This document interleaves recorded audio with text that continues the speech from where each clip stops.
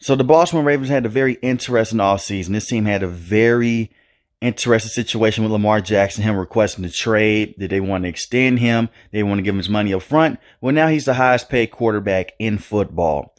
While that is a good thing for Lamar Jackson and his camp, and it seems like it's a good thing with the Baltimore Ravens, let's get into the negatives and the positive paying Lamar Jackson and why I'm a huge fan of this move and also what they did in the NFL draft. The Baltimore Ravens is extending their quarterback long term. He got his money. He got paid. I love to see people get paid. That's gener- that is generational wealth of money. But Lamar Jackson has dealt with injuries the last two seasons. A lot of that because of the offensive system that he was in under Greg Roman. Well, Greg Roman is no longer the offensive coordinator for this team. You're bringing in a brand new offensive coordinator. Hopefully, the passing concepts are better. I believe that when you look at the Baltimore Ravens team, they have a lot of good weapons right now around Lamar Jackson. They had always had a good tight end in Mark Andrews. He's a top three tight end in the NFL. He can block. He can do the receiving game for you. He can do it all for you. He will cons- consistently be the number one target on this team. But they also have other weapons as well. When you look across this Baltimore Ravens team, they have Odell Beckham. He's dealt with injuries in the past, coming off a torn ACL.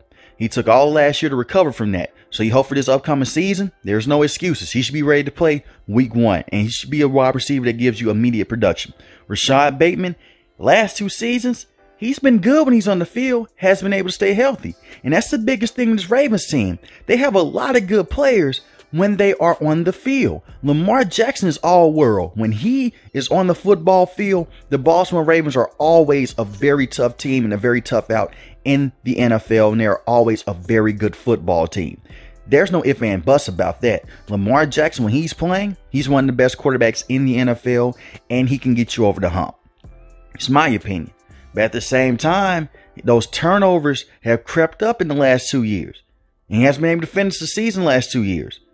Now I said the offensive play calling came down to that, to he's taking a lot of contact in the open field and with that rushing style. I believe now that you put these weapons around him, you can dial back on that. You can still run Lamar Jackson that read option system, but save those legs for the playoff times. Let him beat teams with his arm, and he's been capable of doing that before.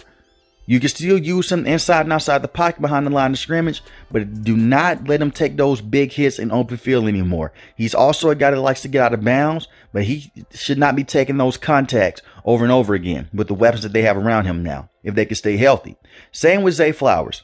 It's a guy that they got in the first round. They spent the first round picking this kid. A lot of people compare him to Steve Smith Sr. Oddly enough, Steve Smith Sr. was a beast with the Ravens after his stint with the Carolina Panthers ended. Zay Flowers to be a guy that can stretch the field, get tough, aggressive yards for you. He's going to be a very good wide receiver for Lamar Jackson. This entire offseason was to make Lamar Jackson happy. This is a Baltimore Ravens team that is not just expecting a deep playoff run. They want to see a Super Bowl type of season from Lamar Jackson. He's been a league MVP, MVP before. When he's on the field, he's great. But the Baltimore Ravens have to keep these guys healthy. Same goes for the defense. A couple of years ago, the entire secondary was wiped out in training camp. Can't allow that to be happening anymore. I know in certain situations you can't help injuries, but let's just lessen up on the snaps in practice or something to get these guys ready by week one. Because on paper, the Ravens are a scary football team. And Lamar Jackson has beaten quarterbacks like Patrick Mahomes before, like Justin Herbert before. So he could beat the best quarterbacks in the NFL. It just comes down to what's around him. This defense last season left a lot to be desired. They were up big on teams early in the season, such as the Miami Dolphins. But the bad thing about that was their defense folded in the second half. The miscommunications have got to stop.